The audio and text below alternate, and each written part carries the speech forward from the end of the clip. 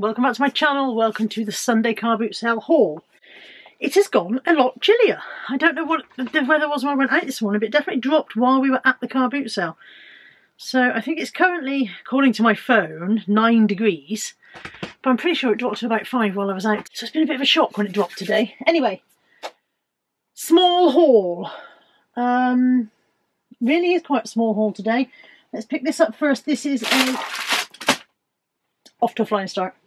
This is a Boots number seven illuminating mirror. Whether or not it will illuminate, I do not know. I have one of these myself, which I really like. It's a very good mirror, but mine gave up illuminating a long time ago, and eventually I cut the plug off. Um, let's plug it in and find out. It does work. Can you guys see that it lit up?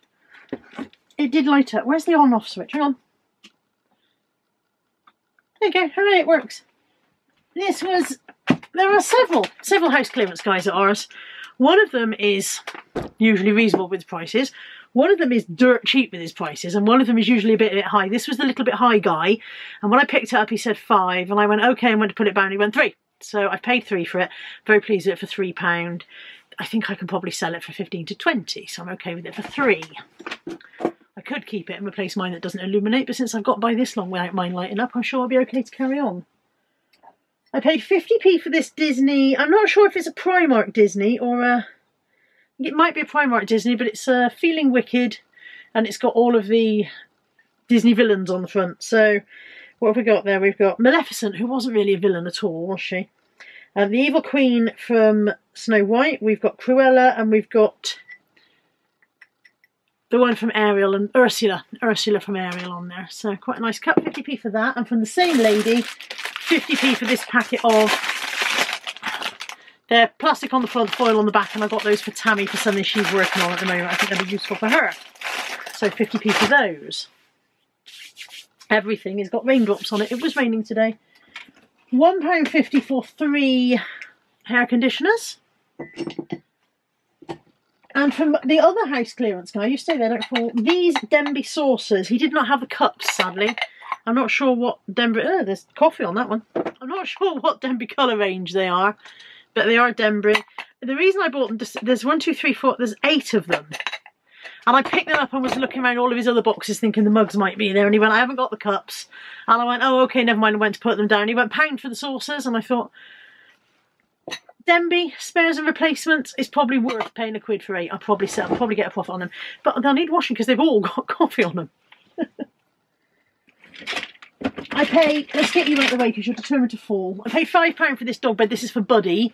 We picked this up because it's such a nice cosy shape. He likes a wall around him. He can get in there and snuggle down, but we're not actually sure where we're going to put it because he's got a new one for the top of the stairs.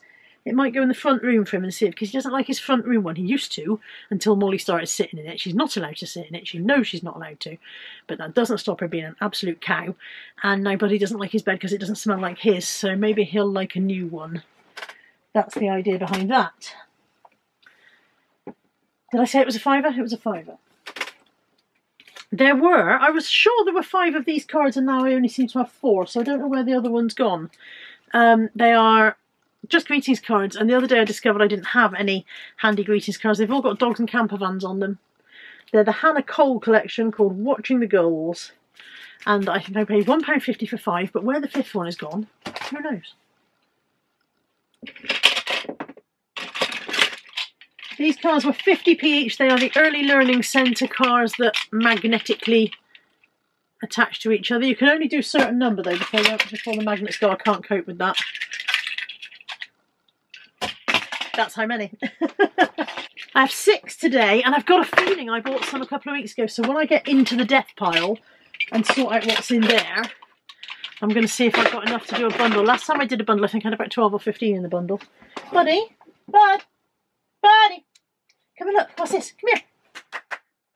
So deaf, so deaf. He didn't find that. I paid a pound for these fairy lights. They are little brass elephants. These are for me. And they are little brass elephants. And, the, and with stars cut out and they light up inside. I thought they were nice for a quid. And I paid a pound for this chinoiserie inlaid jewellery box. The reason I got it for a quid is because it needs a repair on the inside hinge. This hinge isn't attached. But it's unusual in that the music works. I've got one that was my grand's, so it's very, very old. It belonged to my gran, and the music hasn't worked for years on mine.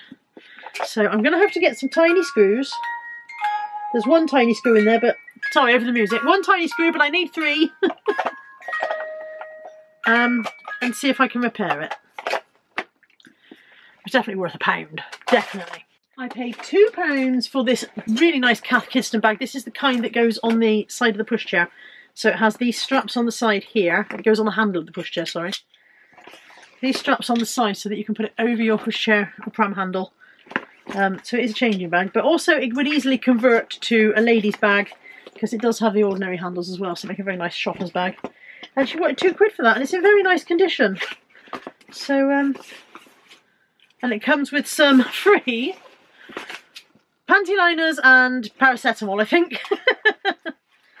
yeah, paracetamol and panty liners.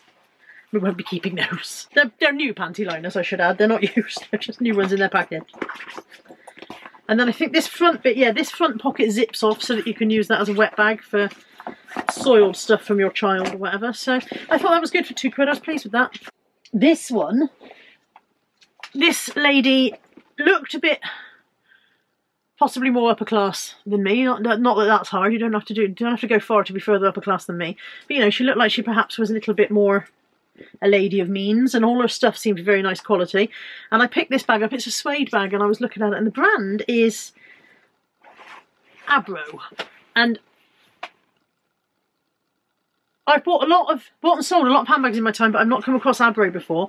But I was feeling the bag and I thought this feels like very nice quality. I'm wondering if this is a, a good brand. And she said, oh, it is a real one, which made me think, well, okay, it, the fact that she's even bothered to say the words it is a real one must mean that it's a good brand, you know, because nobody goes, oh, that Primark one, that's a real one.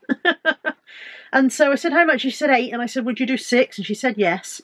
So I got it for six. It does have no long strap. I think it should have a long strap that's missing. But it's a nice bag, and I've had a look at the prices, and they do seem to be a nice, a nice range, a nice, you know, quite pricey range.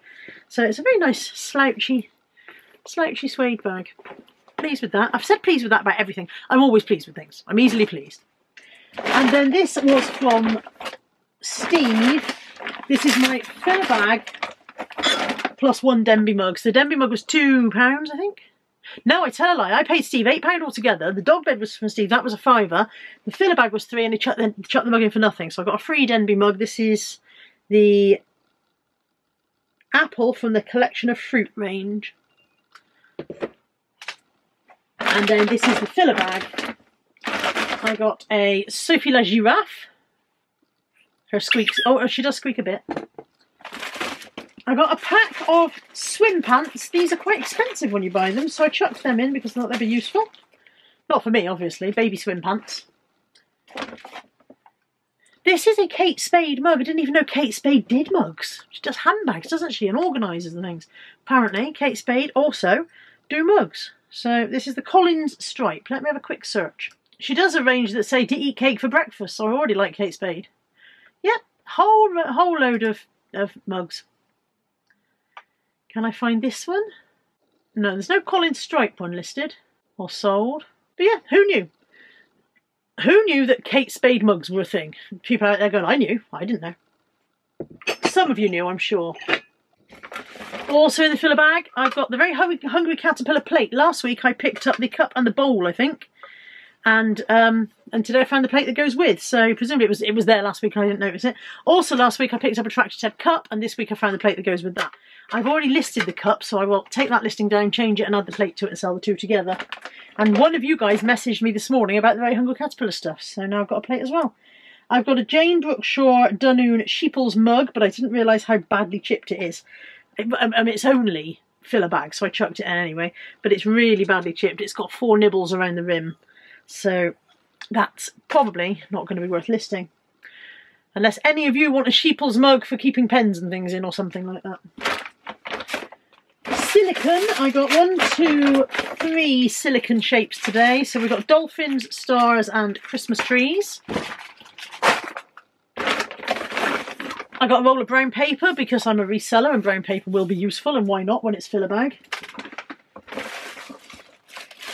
I got a pair of Build-A-Bear shoes and I think there might be something else in there. Hang on. Let's have a rummage. It's a whole outfit, I think. Build-A-Bear shoes, t-shirt and shorts. So it is a whole Build-A-Bear outfit. I picked up this because I thought this was uh, very apt for our house.